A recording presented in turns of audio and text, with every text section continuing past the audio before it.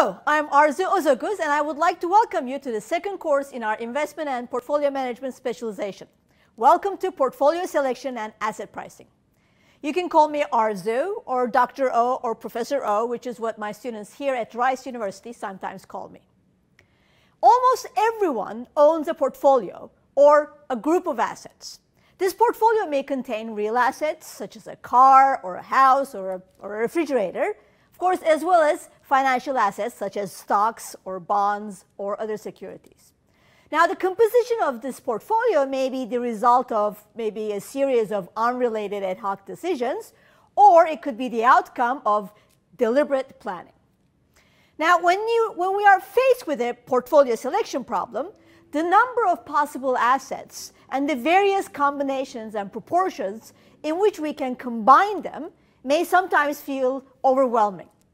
So in this course, you're going to learn the basic principles of how you can construct portfolios effectively and also what that means for asset prices determined in the marketplace.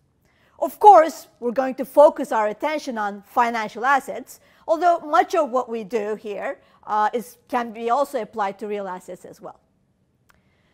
Okay, so before I walk you through what we are going to be doing in this course, here are some big picture questions that you will be able to answer after taking this course. One, how do you allocate your wealth across different assets? How do you choose a smart investment portfolio? Three, how do you maximize the reward you will get for bearing risk? How do you measure risk? How can you convince your boss to follow your asset allocation recommendation? And finally, how can you convince a client or an employer to hire you to manage their wealth? So this course will give you the tools and the skills you need to answer these questions and manage an investment portfolio successfully. All right, so what do you already need to know? Well, for starters, if you've already taken the first course in the specialization on global financial markets and instruments, you already have the prerequisite background you are already familiar with the different types of asset classes and instruments in financial markets. So what else?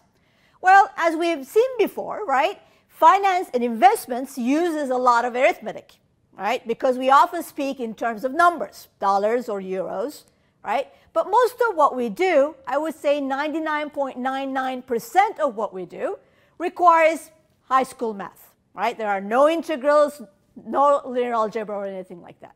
Now, of course, right, being good with numbers helps, but with good attitude and work, everybody can do well. Don't let the notation scare you away. I will help you get through it. So I will refer to some basic statistical concepts like means, correlations, and covariances. While I will always define and review these concepts whenever I use them, some prior familiarity with, these, with basic statistics will definitely help you. Finally, having some knowledge of basic Excel will make a lot of what we do here much, much simpler. I will provide you spreadsheets for you to work on, and I will also illustrate how to use them. Of course, web access, which you must clearly have if you're watching this and taking this course.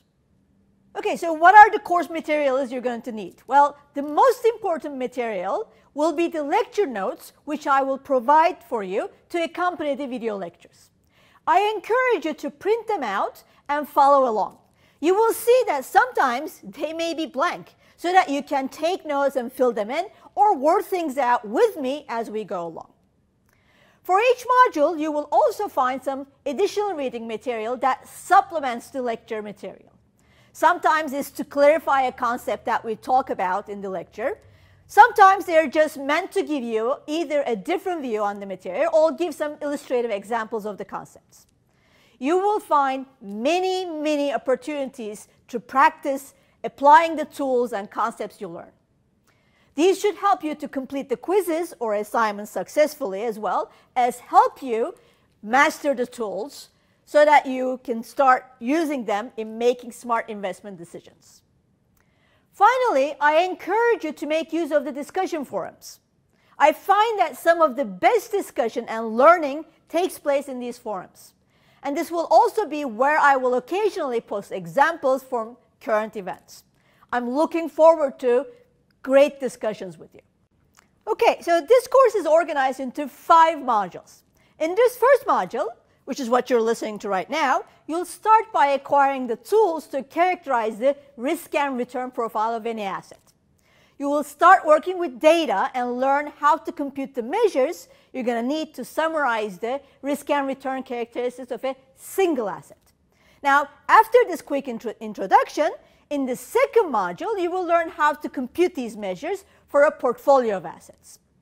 And you will learn how and why combining assets into a portfolio is able to diversify away risk and what kind of risk.